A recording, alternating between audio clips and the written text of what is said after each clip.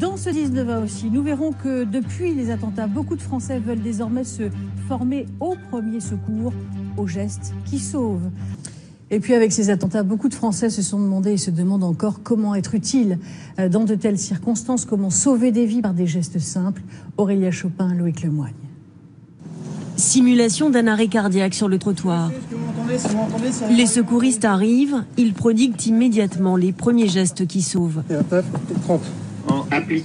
Eux sont des bénévoles chevronnés. Ces exercices, c'est pour ne pas perdre la main et pouvoir faire face à des situations comme celle des attentats du vendredi 13. On essaye de faire des, exercices tous les 2-3 mois pour une remise à niveau, puisqu'ils sont tous bénévoles et donc n'en font pas tous les jours, puisqu'ils ont un autre métier à côté qui n'a rien à voir avec euh, le secourisme.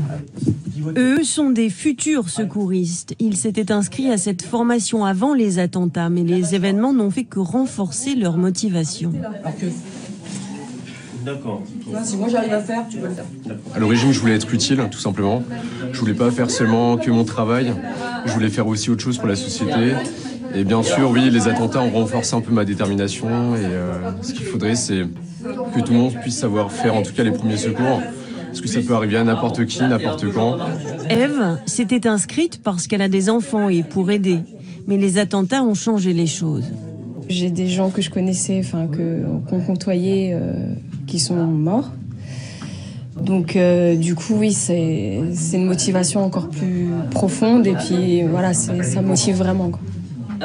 Quel geste Comment réagir Comment être utile après les attentats? Beaucoup de Parisiens se sont manifestés auprès de cette association.